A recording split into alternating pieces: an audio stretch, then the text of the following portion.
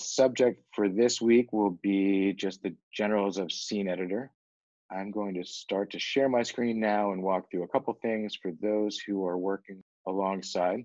Um, alice.org is where all of these materials, presumably you found us and found this. We will be using Alice 3 for this workshop. So if you haven't already, you can download the version here. Um, I also suggest if you're willing to use the Alice beta, it has some other fixes and things like that. We'll have a official release, hopefully by the end of spring, that will incorporate a bunch of other fixes that are just generally for Alice 3. We are going to be using the free resources on our website for this. So if you go to Alice resources, Alice 3 lessons, it will bring you to this page. We're going to start on this one right here, building a scene. Um, if you go to the building the scene page, you will see a bunch of materials here. You can download them if you would like, or you can use them as Google Docs.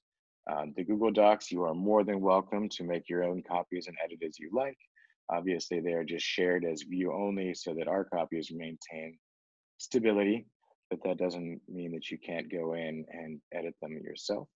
So for all of these, um, for those of you who may go on to teach these, uh, the materials that we provide are a facilitation guide. For this one, you will see sort of the things that we're hoping to accomplish today or just understanding the basic components of an Alice scene, the overview of how the scene editor works, um, what an object is in Alice, how to add them, manipulate them, and things like that, how our camera works for Alice. You'll see in this facilitation guide, there's a bunch of vocabulary that may be helpful to review with the class if you're doing it, or if you're just taking this for your own self, you are a student or user, um, you can get in there and look at those. Uh, we have a suggested process. So for teachers out there, um, there's a bunch of different ways you can do this. You can do this by just presenting through the whole presentation and then moving on to that exercise and project. You can step out while you're doing the presentation to do some demos of what these things actually look like in Alice. Um, so we outline a bunch of those with talking points that go with the slides um, to help you through that.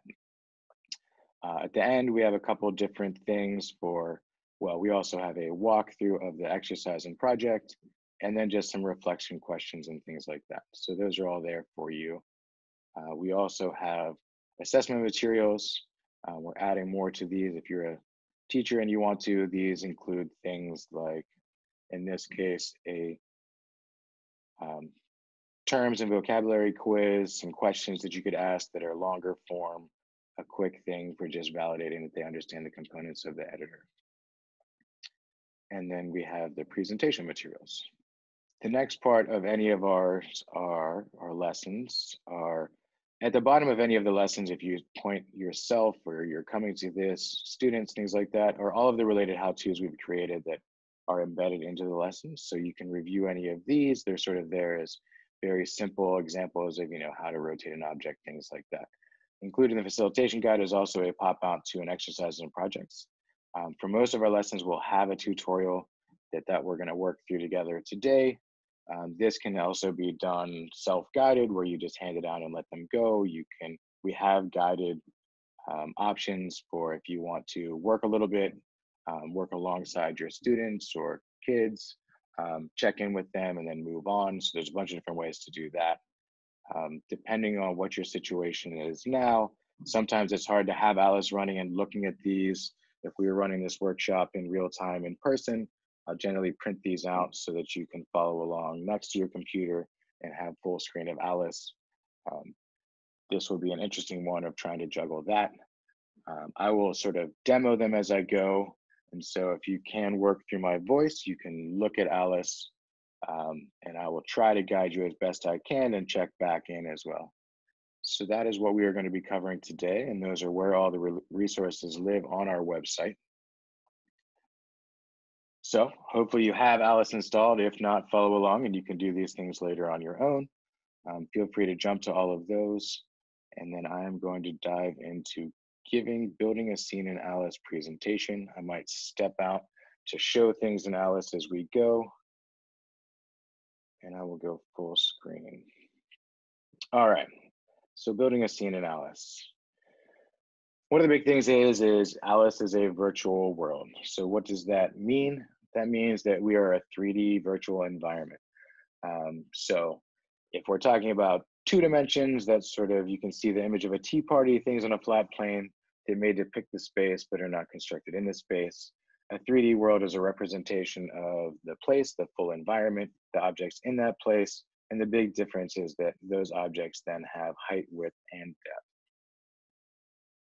The core components of, the, of an Alice scene, um, you have the sky color, which is sort of the fog setting. So your atmosphere, you have a ground surface. So in this one, you see the grass.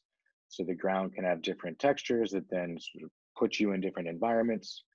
Um, we will get to the part where you can then add a bunch of objects to that scene. So we have characters, props, scenery, a bunch of things to help you make rich 3D worlds. And then we have the camera, which is the, the lens that we're looking into the scene. So then the Alice scene editor. The Alice scene editor comes with scene templates. Um, when you first load up Alice, uh, you will see something that looks like this. These are sort of those, the sky color, the fog settings, and then obviously the ground allows you a bunch of variation in sort of the location of the scene. So you can see all of these different ones. We also have some starter worlds. Um, these are sort of pre-populated, different levels of depth, depending on sort of the your computer. You can choose more minimal ones if uh, memory becomes an issue. It's important to know that these are here. In many cases, this can help you get up and running and start learning to do things in Alice. As a teacher, it's also good to know that these are here just in case your student does the exercise and it just happens to look very similar to one of these. Um, if we go back to the blank slates, you can choose one of these, click OK, and it will bring you into the Alice interface itself. When you first land, you land on the code programming side of Alice. To get to the scene editor, you click on this setup scene on the bottom right. So if you're sort of following along and doing this in Alice while we do the lesson, you would click on this setup scene button and this brings you to what we call in Alice the scene editor. So scene templates, um, again, sort of showed you the where to get to it. This is gonna be a button that you use a lot when you're toggling back and forth between the code editor and the scene editor. So the scene editor has sort of three major components. One is the camera view, which is where and how you see the scene. We have a properties panel, which is this right side, which gives you information about whichever object you have selected. So in this case, it's showing information about the camera. And then we have the gallery on the bottom, and we'll talk a little bit more about what's in the gallery, but that's where you find all the objects that you can add to the scene to start to build your world. So a Alice object is a virtual representation. When we get into perusing the gallery, you're going to see things, people, animals, vehicles, those types of things for making your environment more lush. We have trees, furnitures, um, rooms, things like that to build out the world. As you can see, the arrow is sort of showing you the dimensions, so it has both height, width, and depth. One of the major components of Alice is the concept of move, turn, and roll. So since we are 3D, an object can move in six directions. They can go up, they can go down, left, right, forward, backwards, and they can turn in two directions. So you can turn, you know, if I'm standing right and left, I can also turn forward and backwards, sort of leaning forward and backwards, and then I can roll, so to my side and uh, around my pivot point. Um, something that you could do right now if you wanted to, just to stretch, is if you stand up and you put your arm forward and your arm out to your left, this sort of gives you that orientation of an object. Most of our animations are going to be from the perspective of the object that you're moving. So if you're ever forgetting what you're doing, stand up, do this. If you want them to go forward, it's going out from your hand, turning left. Um, those are good ways to just remember your orientation.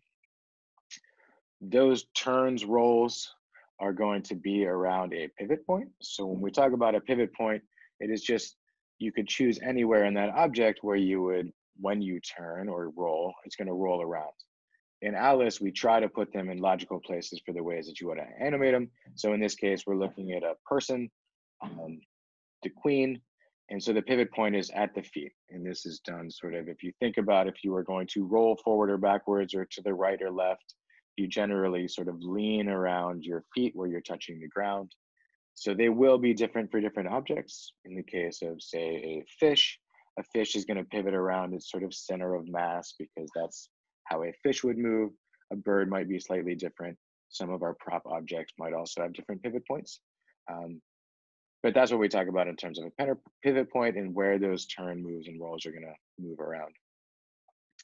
In Alice, um, you are going to be doing joint-based animation. So if you look at the picture on the left and you see the queen, this is sort of the idea that objects usually have internal joints that we would refer to as sort of a skeleton. And that's how you would do any manipulation of that model. Um, joints have different orientations than the whole object. So again, going back to that forward, things like that. Um, when you start moving these around, you'll see that it gets a little complicated. We have some how-to videos that talk about biped joint orientation and things like that, but a lot of it is going to be trial and error. So one of the things that I like to do when you are introducing this is ask the question, you know, if you raise your hand, what happens with your body?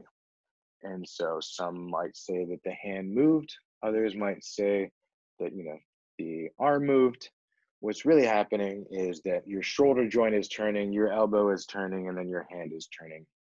Um, let me see if I can just jump back to stop sharing so I can show what I'm talking about. Um, try to make me look a little bigger. So this is the idea that if you if you move your hands, um, so if I move my hand to here, it's not that the hand is moving, it is that when I did that, the shoulder turns, the elbow turns, the wrist turns, and so when we talk about manipulating objects in Alice, that's really what we're talking about is joint animation. All right. To the gallery. So the gallery has a whole bunch of 3D models. Um, for those of you that are interested in learning about sort of programming, um, these are in Alice World classes. So they're done by class hierarchy. Um, that just means that they share components um, from sort of a top level down through the child classes. So you can see that our gallery is broken up by bipeds and flyers and props and quadrupeds, swimmers. And you can see in the little image that we have highlighted that joint um, skeleton that I just talked about. That's because that is the most important shared feature, that all of the bipeds sort of have that same joint structure in them, um, which allows you to share code that you write on a biped um, if that goes down, you see a biped class.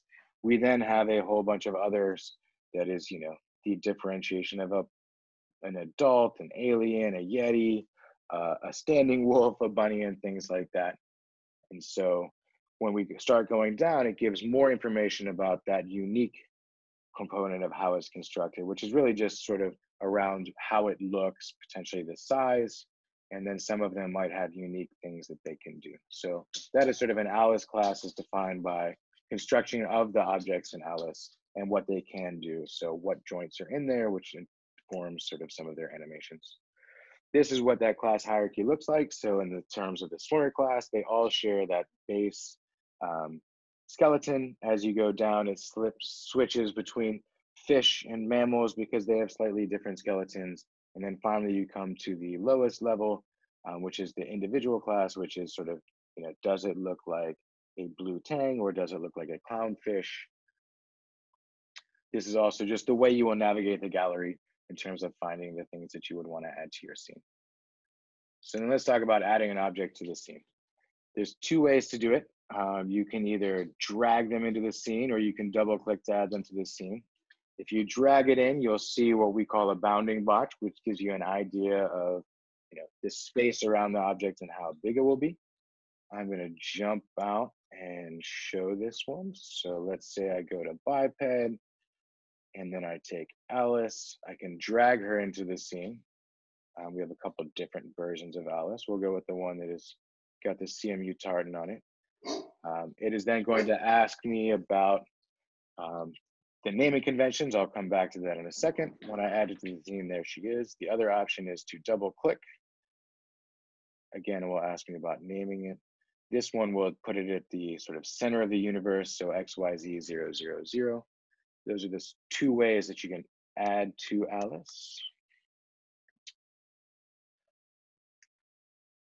Naming, you saw the bobs pop up. Um, since what we're actually doing is writing the code underneath and building your program, um, we will have to follow some programming conventions when you name an object, which means that we can't do spaces, we can't do special characters because they might have um, impacts in terms of coding. So in this case, the Queen of Hearts is spelled out as one word. One of the things we talk about is the term camel casing, which means that if you string multiple together, um, do an uppercase for each new word. So you can see that the lowercase q, uppercase O, uppercase H makes it a little bit more legible. Obviously, you want to name it something so that you remember um, what the object is supposed to be in the scene. Um, long story short, if you get an error, check to make sure you didn't use special characters or spaces when you're naming objects and bringing them into the scene. Once you add an object to the scene, there she is. There's a couple of different things that we can point out to you. Um, first, in the top left, there's going to be a object tree. So this is one way to select the objects that you want to then manipulate. The other is just to click on them in this scene. So here we have the queen, if I click on her. Um, there's also this list over here. You see the little arrow drop down. That is another way to select from the objects that you've added to the scene. So you then can manipulate. Um, you'll see these donuts appearing in the scene. These are the sort of handles for manipulating. You can click and drag the object around the scene. You can use the donate donut to, to rotate her. Um, and then in the properties panel, you'll see information like what paint color, how this the opacity of, um, position XYZ in space, scale, and things like that. So information related to the object that you have selected. So how do I then position an object in the scene? There's a couple different ways to do this.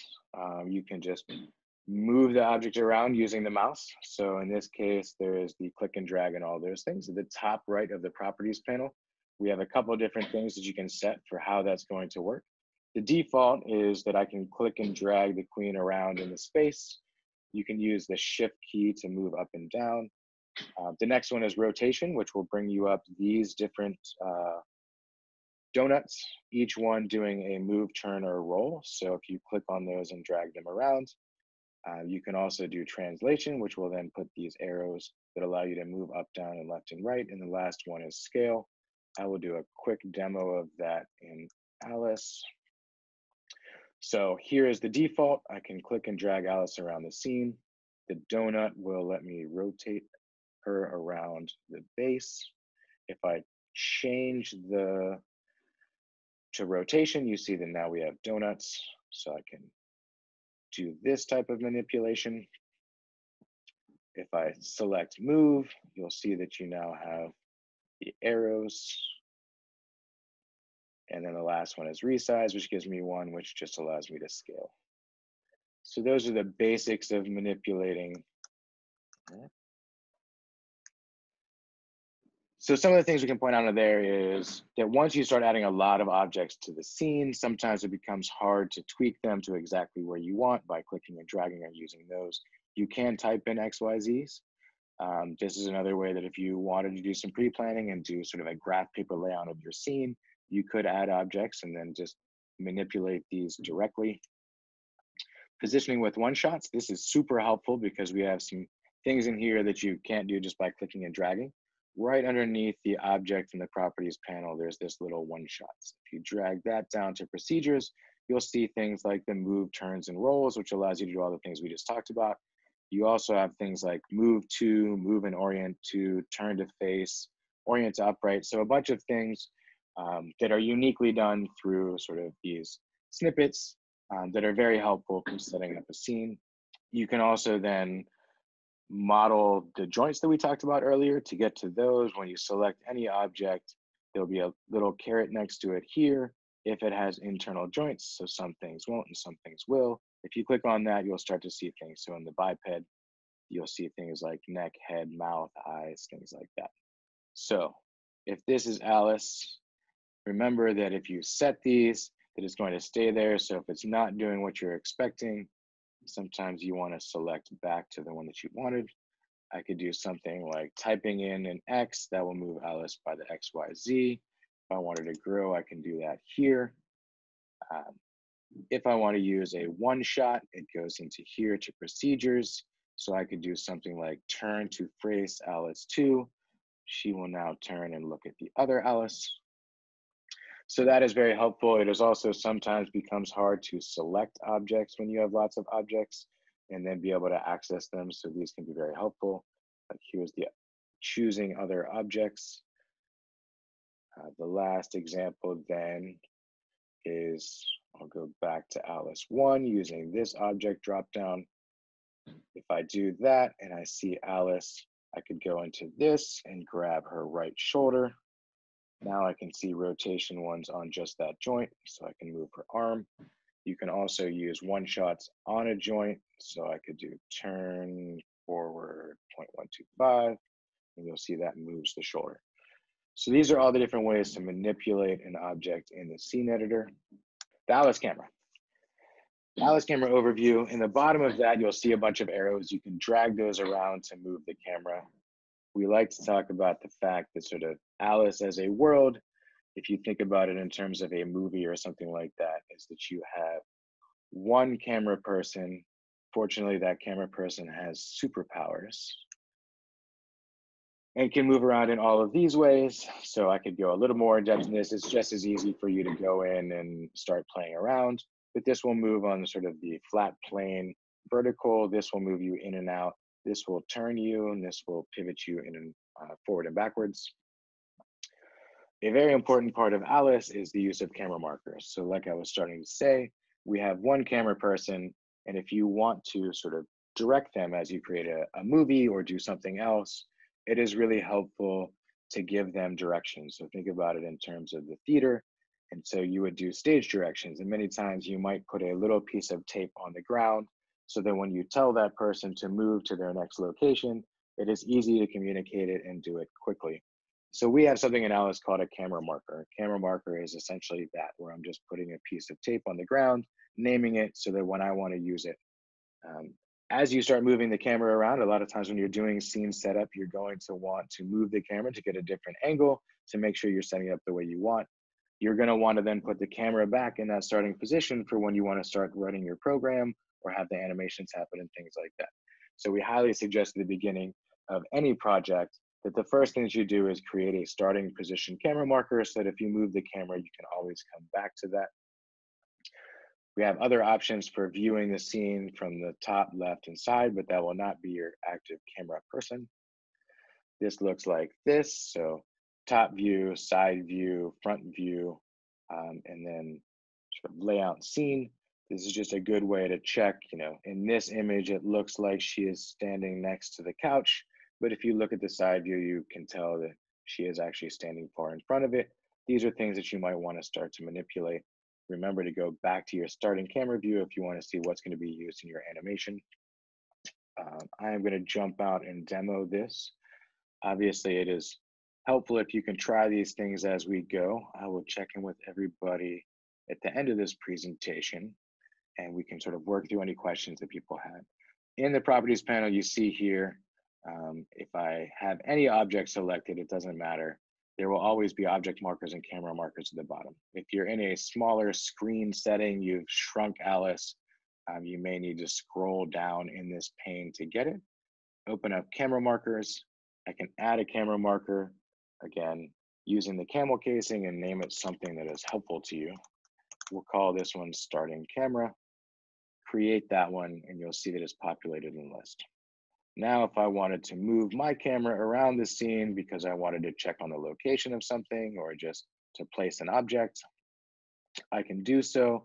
And you'll see that the camera marker actually exists in the world as something that you can see. There's then two buttons for the camera markers. So the camera markers, the one that has the black camera moving towards the color coded camera marker will move my camera to that marker. Um, if I go back out and I do something like this and I click the right one, I have now actually moved my camera marker to where that is. It's good for adjusting them and manipulating them. But remember that if you did something where you lost yourself outside of the world and can't find your scene, if I click the right one, I'm just making things worse. If I click the left one, it will bring me back to where I was. So that is just camera markers. We're going to come back to them later in future lessons of Alice for programming them and using them for other things. It is just a very helpful thing, and we definitely recommend that you do it at the beginning of a project so that if you do something where you lose yourself, um, you can also use undos, Command Z. Um, hiding under this window for me is also undo and redo. This allows you to step through things um, it does have a long history, but if you close a world and you come back, it will be broken. Um, another tip and trick would be if I get lost, you can also do one shots with the camera. So if I select the camera and one shots, we have a really good one for helping you get back to wherever you built your scene that is moving orient to a good vantage point of. This one will allow me to select an object that I know where it is, such as Alice. It will bring me back and then I'm sort of at least found to start manipulating again. I'm going to bring us back down to here. All right, tips and tricks. Save often. Um, Alice does create incremental backups, but only after you have saved the first time. So all of our projects will generally call out, start your project, save your world, create a starting camera marker, and then start to do things. Um, it is also good to just do incremental saves in case you were to break your world and want to go back. The undo redo is at the top of the procedures. You can also do it using Command Z and Command Y to redo. Um, like I showed you, sometimes you'll forget which handle style you have and it'll seem like Alice is behaving weirdly, but actually it's just you forgot which handle style you chose.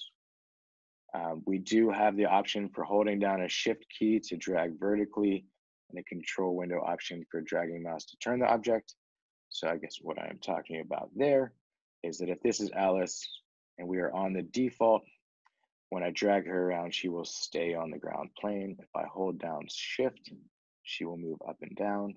So that can be very helpful. Um, if I am on move,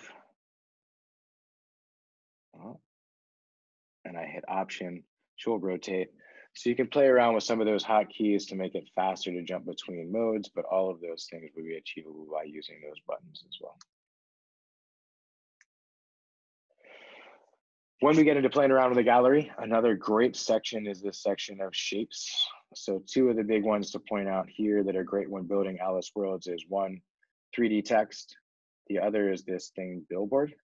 So Billboard allows you to bring images into the world. So a lot of times this is a great option for creating um, title screens, directions for games. If you wanted to put a background of your city skyline or something like that, you can bring in a billboard and attach an image to it. For all of you teachers out there, just know that this is a way that outside content can come into worlds and all of the fun that is involved in that. Um, so this another section where you can create um, interest. All right, so I'm pretty sure that sums up the scene editor then. I will take a pause, unmute all if I can do it, and see if anybody has any questions thus far based on what I presented just now. How's everybody doing?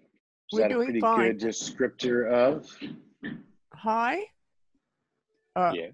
um, I, okay. Uh, to get the um, the dots uh, of the joints, when when you go into the um, gallery, and we go to all classes, uh, for instance, take the flyer classes, it shows um, in the classes it shows the dots and the joints. How do I get to that spot? How do you get to selecting them? Yeah, you showed it when you uh, did the queen originally. You showed all of the joints, the dots. Oh, I mean, that was essentially just drawn on top. Let me go back and I can show you what I think you are asking. So if we're in Alice, uh, we start at the all classes. So here's the flyer class. So on this icon, you can essentially see the joints. Correct. If I go in here, now we're talking about sort of the actual visual of, if I bring the falcon into the scene, Um, now we have our Falcon. I will move everybody over here for a second. Um, dragging down here, looking at the Falcon, these are the ones that are included in the Falcon. Um, that is the best option I have for you finding them. Oh, no, I can find creating how-tos that sort of tell you all of them and the orientations of the joints. We've done it for the biped. We have not done it for all of the classes. But really, it comes down to experimentation. I mean, you can look at that little icon, but it's more about exploring what's in there um, and seeing which ones that you want to manipulate.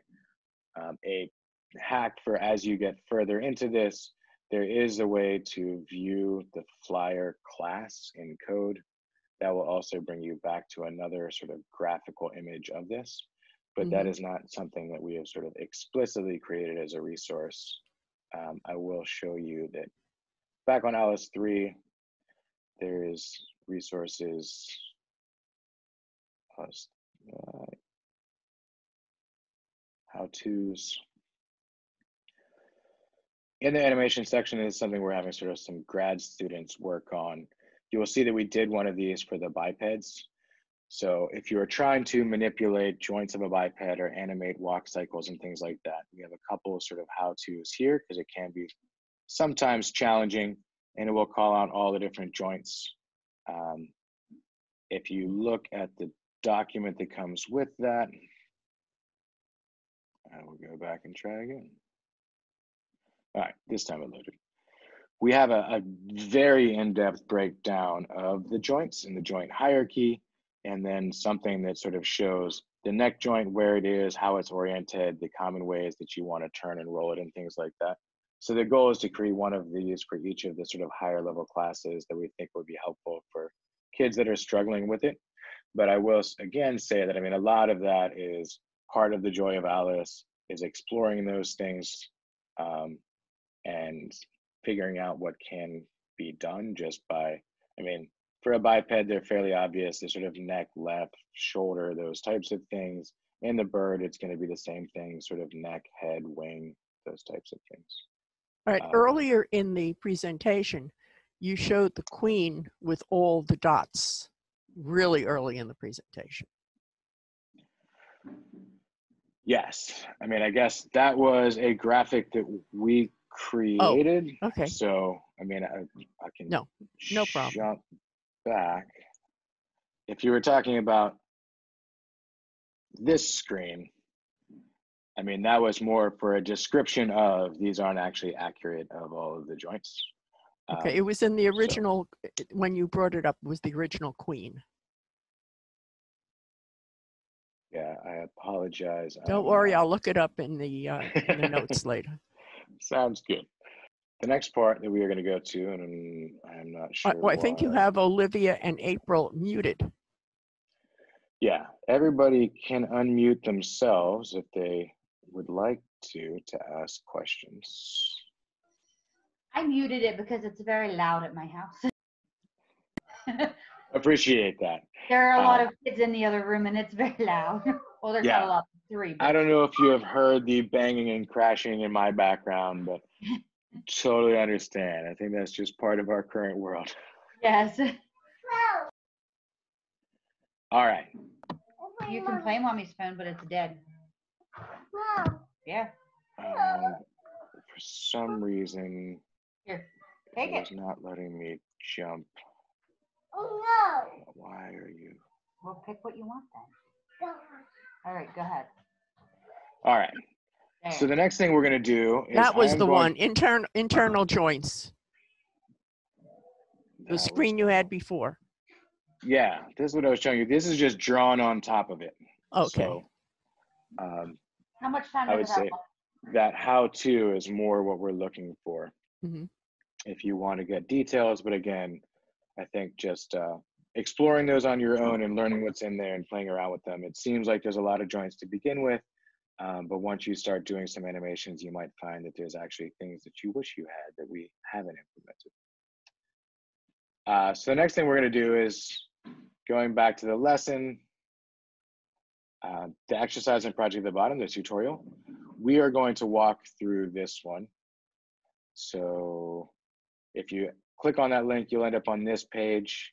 If you wanted to, I apologize for future lessons, I will put the link up ahead of time so that if you wanted to download this and print it out or have it in another window, otherwise I would say just go ahead and open up this tutorial exercise. This is what it looks like. Um, I am going to now walk us through all of that. I'm going to go slowly. I'll try to stop after each segment, sort of as if um, we're doing sort of the guided exercises where we'll do some of this, add some objects, position objects. So I'm going to start from the beginning. So file new. The directions essentially have us building this in the Wonderland scene. So it's actually the one that I chose before. So Wonderland, um, I select on this, hit OK. It is going to bring us to the code editor side of Alice again. So remembering that to jump back and forth is the setup scene. And then once we're in the seed, to get back to the code is the bottom right of this one. So toggling back and forth. So follow along to get to the Wonderland scene in the scene editor. And so here we are ready to go. Like we said, uh, generally you want to do a starting camera marker. So I'm going to do that now. It defaults to being on the camera because we don't have any other objects. I'm going to add a camera marker into starting camera. So again, bottom of the um, this this window over here, again, you may have to scale or scroll if you've made a different size following this camel casing. And now I have a starting camera marker. If you are going to want to, um, I guess, potentially there's always the chance that uh, Alice will crash. I don't want you to lose your work. So go up and click file and save at this point and name it um, Alice tutorial if you would like or whatever you want to. That will start backups in case something on your computer seizes up or we fail you and Alice crashes. So if you all want to go ahead and do that now. We are going to start adding objects. Um, for this first one, we're going to add the tea table. Um, you can search the props. The props have a bunch of things in there. Uh, I could look for it this way. You can search props also by um, the theme. So browse gallery by theme is another option. Browse gallery by group, search gallery, my classes, things like that. So in this case, we are doing the Wonderland. One option would be to come in here and go to the Wonderland. You'll see that we have most of our Wonderland items here. Here is the tea table if you go and browse gallery by theme Wonderland. Um, another option, if in any of these directions or future ones you just can't seem to find it, we do have a search option. So if I put in T, you'll see all the tea cups, and then you'll also see the tea table. For this one, let's drag it in so you can see the bounding box. So when you bring it in, drag it around the scene and you'll see sort of the ghosted version of where it will be. I'm just gonna go ahead and hit okay. Tea-table seems like a pretty good name for it. I'm just gonna leave it at that. Now you can see that we have the tea-table in the scene. Oh, I did that wrong based on the tutorial. So I'm going to Command Z undo. The first one we want to do is double click it. This will then add it at zero, zero, zero in the world, which will be helpful for XYZ. So our tea table is sitting in the middle of the world. Um, going back to browsing gallery by theme Wonderland.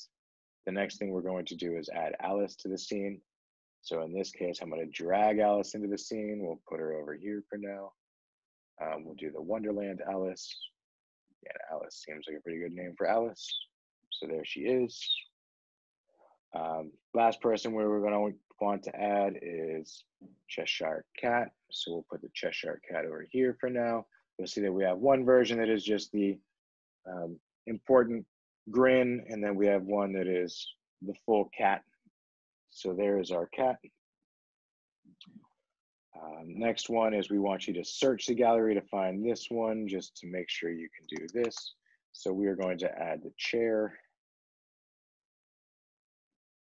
You can choose sort of any chair you like. I'm going to go with the colonial blue. So there's our chair. Next, we're going to get up to positioning objects, but I'll take a quick pause and just check in. Does anybody have any challenges of getting this far? Questions about things that we just did? I- know this sounds silly, but I'm going to share my screen with you. Uh, I put the, um, the tea table in, actually I did two, but it didn't show. Did you drag it or did you double click it? Uh, I think I dragged it. I should have double clicked it. Well, double clicking will put it in a zero, zero, zero. I mean, after you drag, did you get the pop-up? Um, so here, to me delete an object, another tip is you can right click on it to delete. Delete, You can also do it over here. So delete. if it was over there, you could do it that way. Let me go back go- to tea table. Back to the tea table. Um, drag it in again. You should see something like what you see now on my screen where you see the bounding box. So when I let go, that means that's where that's going to be. Okay. I'm And in, I'm in you- sofa. I don't know why. Okay, just go tea table. Um, I keep telling uh, my kids, so you want me just to drag it in? You can double click it in. I mean, I guess the reason that maybe it's not sitting in front of you is if you have moved the camera so that you're no longer looking at the center of the world. I don't know if you followed Can along you and see, can you see my camera. screen? I, I, am not going to jump back. I've only got about nine more minutes. Okay, never mind, never mind. So uh, we're going to have a QA session right after this. So I guess if you want, we can walk through some more of this after that. I just kind of want to keep going through this Keep one go, keep going. and we'll circle back. All right, so then we come to the positioning object steps. Um, so first we wanna add Alice to the end of the table using the mouse. So I can click and drag her here. I can, remembering to go back to the default, use this to turn her towards the table. So we've got Alice positioned at one end of the table. Um, placing the chair at the other end of the table, we're gonna move our Cheshire cat out of the way. So we'll put the chair over here. Again, I'm just clicking and dragging it on default and then using the default donut to rotate it towards it. Again, just using the mouse for this one. Um, other option is to use the XYZ for the chair. So let's nudge the chair by just changing a couple of these numbers. You can see it's at minus two. If I do that, it's sort of pushed in. We'll go to minus 2.5 to bring it out from the table a little bit. So there you go. Um, the next one is to place the Cheshire cat above the table as if it's floating in the air. So I'm gonna go ahead and drag Cheshire cat around, put it behind the table. Again, using the hotkey shift, I can move up into the air. So if I do that, now the Cheshire cat is floating above the table. Um, drag the cat back towards the table.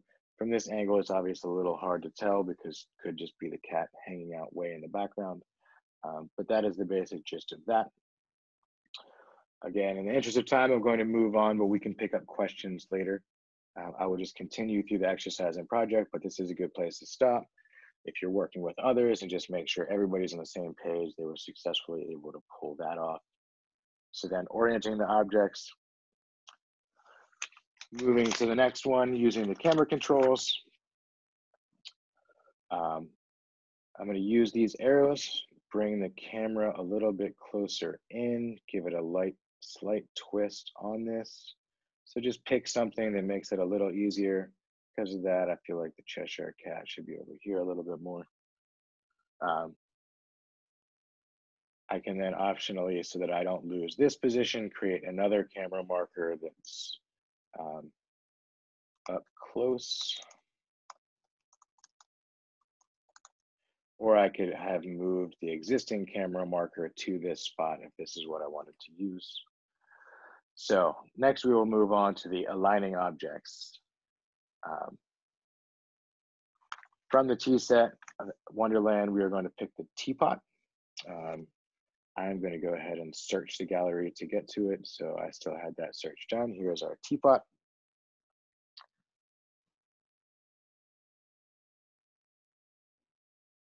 Um, if I just drag and drop it in, you know, it's under the table. So my options are to use shift to bring it up to the table.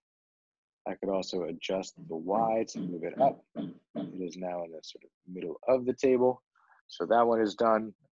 Next up, we need a saucer. So continuing through, here are some saucers, dragging a saucer in.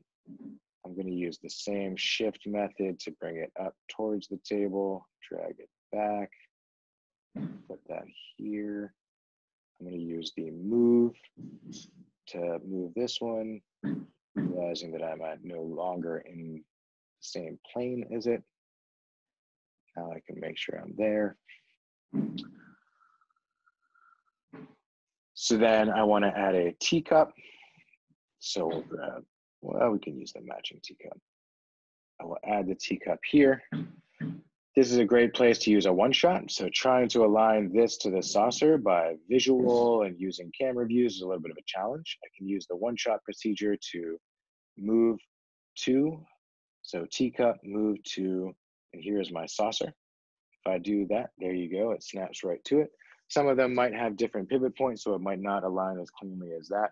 Um, but there you go with that one. Um, I could then continue on and add a saucer and a teacup for Alice and the Cheshire Cat and things like that. This is a good time if you haven't already to save just to make sure that you're saving as you make progress. Um, our next goal is going to be to take the Mad Hatter and put the Mad Hatter in this chair. This is going to get into some of those joint animations. Um, I'm going to go back to browsing gallery by theme. We are in Wonderland. Here is the Mad Hatter. Drag the Mad Hatter into the scene. Um, the goal here is that we want the Mad Hatter to sit in the chair. So one thing I can do first is I can use another one shot to move and orient the Mad Hatter to the chair. Sort of inside the chair, I'm gonna use the arrow to move him forward a little bit. Um, we want to get the legs up because right now he's not so much sitting in the chair as standing in the chair. So again, sort of the reminder of the little caret next to the object allows me to get to the joints. Sorry. If I do that and I grab the left, well, we're gonna have to go to other joints. So if you look at this one here is a lot. Um, some are then in the other joints, but actually I just found it. Here's the left hip. I can either use this, so the rotation joint will now allow me to turn the hip. So for the left leg, I'm going to use that to position it sort of in front. I am then going to switch and grab the right hip. And for this one, I'm going to use a one shot. So same thing, I can turn. I'm going to cheat because I already know this. It's going to be backwards about a quarter turn. So that brings that leg up. Um, as you experiment with this, you're going to end up doing things where people's joints go in different directions and lots of chaos ensues. Uh, enjoy that. Again, I sort of showed you earlier where there's some how-tos to point out the exact orientations of hips and things like that. But now you can see that if we go back to the Mad Hatter, oh, I put it back on move to tweak the height of him. Oh, can't see the arrow because it's above the scene. So I'll go to default and use the shift key. And we'll place him in the chair. Close. Um, so now we have manipulated the subjoints of the Mad Hatter to get him sitting in that chair. That is pretty much it. I mean, that is, I didn't do a great job of matching the scene entirely. Some of that is just camera markers and things like that adding more to the scene. But if you, as you see, it's sort of, if you follow along that tutorial, it'll sort of force you to give a try of the one shots using all the different handle styles, play around with these types of things. The one thing I didn't use was to use the top view um, in order to check in on my placement. Um, so an adjustment here would be that obviously my Cheshire cat is hanging out way back Alice is a little bit off the end of the table. The Mad Hatter is as well and could use a little bit of a rotation. bring our chair back around. So this is an example of using the top view to make sure that everybody is actually at the table. Because it looked fine from the other view, come back to this view, and then maybe we have to do a little bit more of adjustments. Um, that is the basics of what is done in this tutorial. The hope there is that, that you'll have more confidence then, have created a cool little scene, and then we'll go off and explore the gallery and make whatever you want. Um, play around with those definitely before we do our next workshop next week. Play around with making some cool scenes. Some things that I love to point out is if I go back to the gallery and I go to all themes uh, or by class and go all classes, in the bipeds, we do have these first couple, which are actually the Sims resources. So we've incorporated the Sims. You can do some people building, um, play around with things like skin. You can switch to child and teen, um, tops, bottoms, hats, faces, all those types of things. Um, adding in the child person, you'll get a huge long string why it is good to use one-shots and other ways of selecting objects. I think Alice is about to crash on me because I've been running it too long. We do use a lot of memory. Um, if you get to a point like you're like I am seeing now where everything is just moving epically slow and it's hard to select things, a good thing to do every once in a while is to just save your world, quit Alice, and relaunch it. This will um, free up a bunch of things um, which will help you with performance. And sometimes you get to a place where it's hard to click and things like that. Um, so with that, I'm going to jump back out of the sharing, see if there are any last questions to address here. And then I might duck out and ask anybody who wants to go through everything we just went through, um, ask more questions, show what you've made and get a little help on it and things like that to just jump us into the other meeting. Um, I guess last share of screen would be there was the blog post. There is also um, the workshops and events. I'm changing the website now so that it will show the days when we're on it. Um, there's a weekly question and answer center session that has another Zoom ID just so I can start to process the video output of this video um, so I'm gonna shut us down here and move us there. If you wanna follow me there, uh, I am happy to answer questions, look at the worlds you built, try to answer any uh, issues that came up. So thank you all for joining us. Um, appreciate it. And then again, this video will go um, up on our website soon. Uh, so you can definitely share it out with anybody, students that would want to watch it, other teachers. Um, and prep for next week. If you want to join us next week for the next workshop, uh, make sure you have Alice downloaded. I showed you where the lessons are that we're going to be going through. We are going to do programming in Alice. So if you wanted to look at the tutorial link to that and print out the materials ahead of time. Um, so yeah, again, thank you so much and meet me in the next meeting if you would like to ask some questions.